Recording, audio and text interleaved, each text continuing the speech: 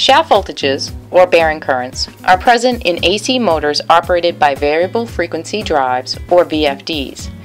These shaft voltages can discharge through motor bearings, causing electrical discharge machining and resulting in unplanned motor failures, increased maintenance cost, process downtime, and lost revenue. To prevent electrical motor bearing damage, VFD-driven motors must have proven long-term bearing protection, such as the Aegis bearing protection ring. So let's look at the difference between when electric motors are operated by line voltage and when they're operated by a VFD. When electric motors are operated on line voltage, the input power is balanced in frequency, phase, and in amplitude. The sum of the three phases always equals zero volts when properly imbalanced. Note that bearing protection generally is not needed except for large frame motors in this situation.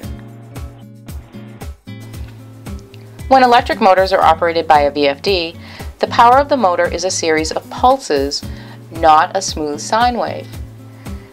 The input power is never balanced because the voltage is either 0 volts, positive, or negative, with rapid switching between pulses in all three phases.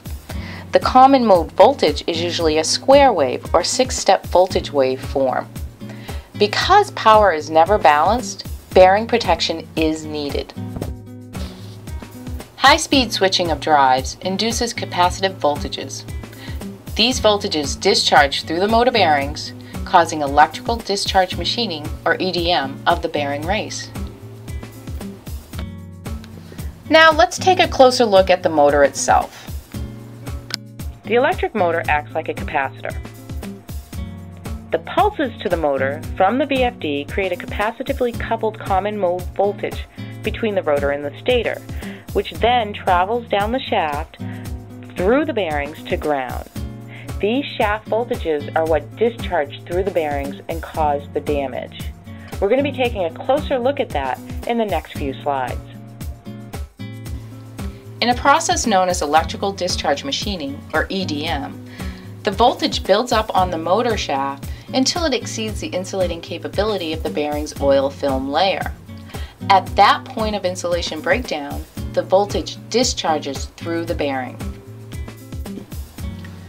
Shaft voltages may discharge during every VFD switching cycle, creating temperatures hot enough to destroy bearing lubrication.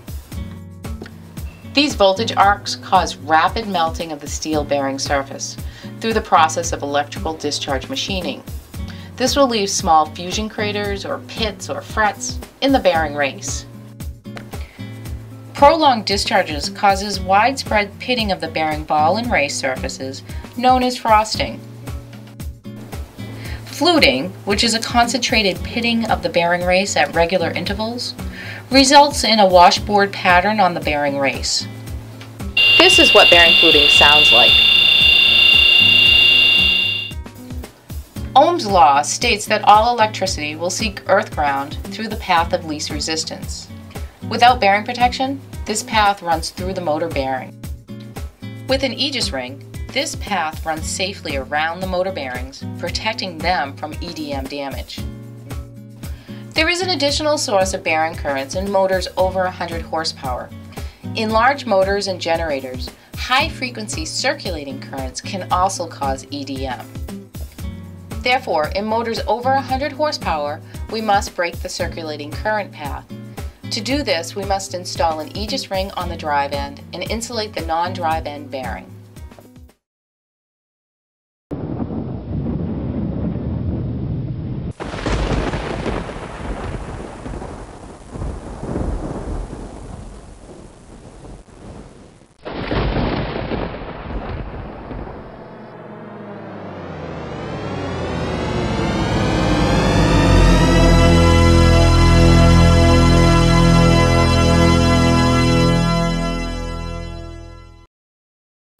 Aegis shaft grounding rings provide long-term bearing protection against damaging shaft voltage discharges. Proven in over a million installations worldwide, the Aegis rings provide the most reliable long-term bearing protection available today, dramatically extending the motor's life. Let's take a look at how the Aegis bearing protection ring works. The patented conductive microfibers in the Aegis rings have lower resistance than the motor bearings. They provide a path of least resistance to ground through the ring to the motor frame, bypassing the bearings altogether. The specially designed patented microfibers of the Aegis ring flex without breaking, and they operate with ultra-low friction. Aegis's patented fiber lock channel secures microfibers in place, it also allows for microfibers to flex without breaking and protects microfibers from excessive dirt, oil, and other contaminants. And the patented Aegis NanoGap technology ensures electrical contact, whether the microfibers are in physical contact with the motor shaft or merely in nanogap proximity to it. Through the three distinct nanogap processes shown here, Aegis rings provide electrical contact with the motor shaft across gaps ranging from less than 2 nanometers to gaps greater than 5 micrometers. And these nanogap processes work simultaneously, providing unmatched bearing protection even in the presence of dirt, dust, oil, and other contaminants. Now let's compare the Aegis ring to other shaft grounding technologies. Where single point or discrete point grounding brushes provide only about 4% coverage of the circumference of the motor shaft, Aegis rings provide 100% coverage. This is because the conductive microfibers of the Aegis ring completely surround the motor shaft, providing full 360 degree contact with the shaft. Discrete point designs only offer limited shaft contact. Because of their limited shaft contact, competitive technologies have much lower current carrying capacities than the Aegis rings. And while other shaft grounding technologies work only when they are in friction contact with the motor shaft, Aegis rings work both when in physical contact with the motor shaft and when merely in nanogap proximity to it. Consequently, they are effective even in the presence of dirt, grease, oil, or other contaminants. And finally, while other technologies are not suitable for use with VFD-induced shaft currents, Aegis rings are designed to provide superior bearing protection for such VFD currents. So why settle for the limited temporary bearing protection of competitive products and technologies? Insist on the proven long-term protection of the Aegis shaft grounding rings. And due to their superior design and performance, Aegis rings have been recognized with a host of awards over the years.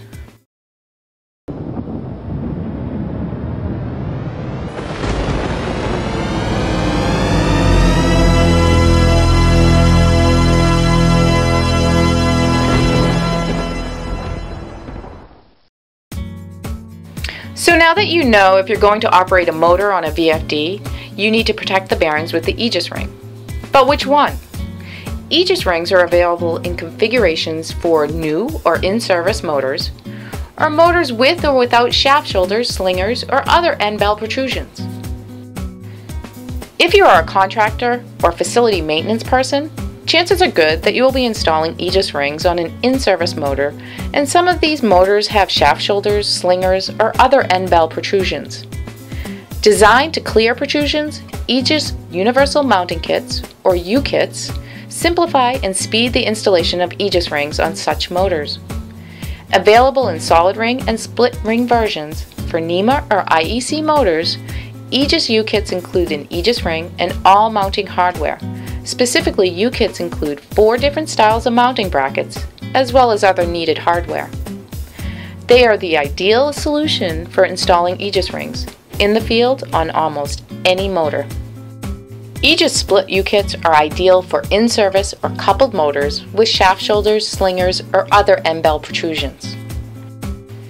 Aegis solid U-kits are designed for use on new or uncoupled motors with shaft shoulders, slingers, or other end bell protrusions. Other Aegis products include the Aegis Solid Ring for new or uncoupled motors without shaft shoulders, slingers, or other end bell protrusions. And the Aegis Split Ring, which is for in-service or coupled motors without shaft shoulders, slingers, or other end bell protrusions.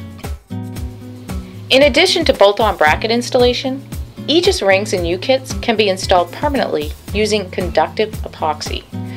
The Aegis conductive epoxy eliminates the need to drill holes in the motor end bracket. It cures in about 4 hours at room temperature, or you can shorten that curing time by using a heat gun for about 10 minutes. The MSDS is also available. Before installing an Aegis ring, proper shaft preparation is required to remove any paint or rust from the motor shaft. To prevent future oxidation of the motor shaft and enhance its conductivity, Aegis colloidal silver shaft coating should always be applied to the shaft where the Aegis microfibers come into contact with it. Recommended for all Aegis ring installations, the use of colloidal silver is especially important for vertical motors or motors with roller bearings.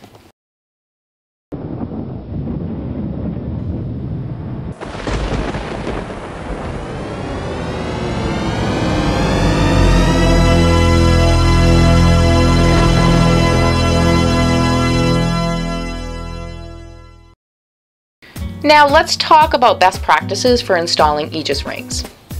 For low voltage motors of 100 horsepower or less, motors with single row radial ball bearings at both ends, you would need to install an Aegis ring on either end of the motor shaft, either on the outside of the motor or internally. Remember to apply the Aegis colloidal silver shaft coating wherever the Aegis microfibers will contact the motor shaft. For low or medium voltage motors over 100 horsepower, as well as large motors or generators, install an Aegis ring on the motor's drive end and an insulated bearing on the motor's non-drive end. And don't forget the colloidal silver coating for the motor shaft. To download the Aegis Shaft Grounding Ring Handbook that details these and other bearing protection best practices, visit www.est-aegis.com forward slash handbook. For any additional information, please feel free to give me a call. My name is Karen Cambridge, and my number is 1 866 738 1857. Or you can visit our website at www.est-aegis.com. Thank you and have a great day.